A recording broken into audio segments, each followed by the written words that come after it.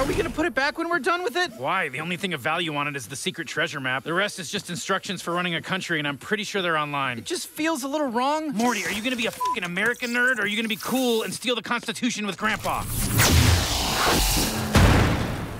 Here, hold this while I crack the hermetic seal. W- why not just use this again?